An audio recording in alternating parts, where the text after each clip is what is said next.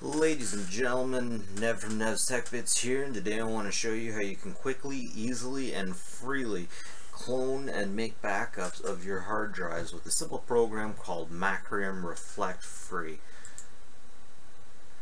Now make sure, if you're using this for home use, to say for home use. Anyways, then we open. You always got to download.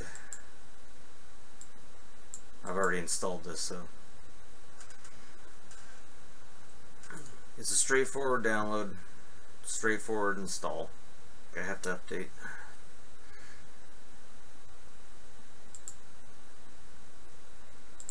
Finish. So this is Macrium Reflect. Here you can see three hard drives that I have. And it's a pretty straightforward program. Uh, definitely great for the price too. So what I'm going to do is I'm going to select my main drive up here and simply right under it you can either click clone this disk or image this disk. If you image this disk you are going to take an image of it and uh, it'll make just one big file kind of like an ISO an all-in-one file that you can put wherever you need it. And uh, I have an extra drive where I save all my stuff. But and if I was going to do that I'd just hit next few times. But what I want to do is I want to completely clone over a disk. And I just hit clone this disk clone this disk too and then I have a drive set up and ready for that. So let's give it a let's give it a whirl. Next. Finish. Clone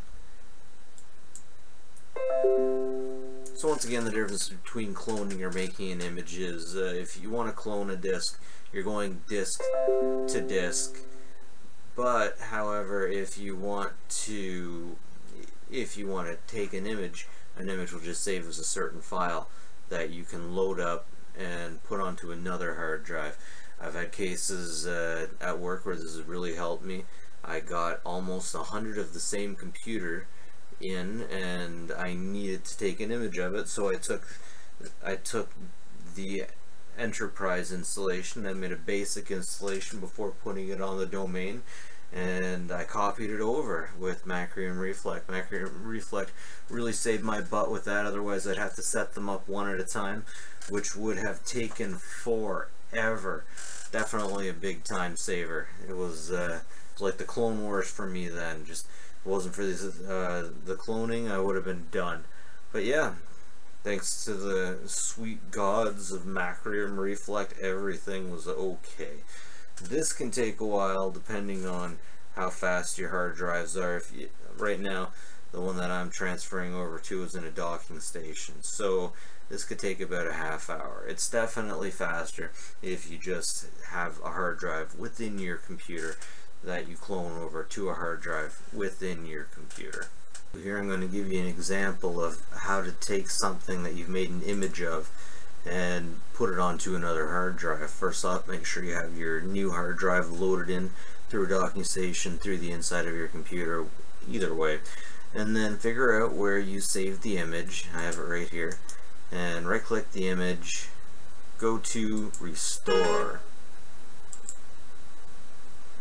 Macrium Reflect will open right up. And then point it at a hard drive and I want to use this one. Next finish. Yes I'm okay with that being deleted. And here we go the image is being loaded up to that drive. It's that easy that simple. Very straightforward very good.